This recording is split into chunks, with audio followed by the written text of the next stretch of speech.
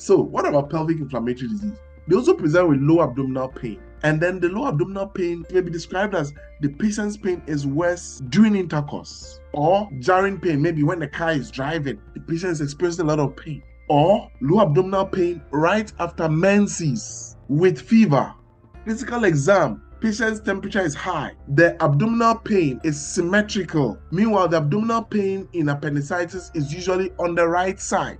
Rebound tenderness on palpation, decreased bowel movement on auscultation, and the patient may have purulent endocervical discharge or if you do a pelvic exam, they may have acute cervical motion tenderness. There may be adnexal tenderness. That should start telling you this patient may have pelvic inflammatory disease. How are you going to differentiate between pelvic inflammatory disease from acute appendicitis? Based on clinical history and CT imaging.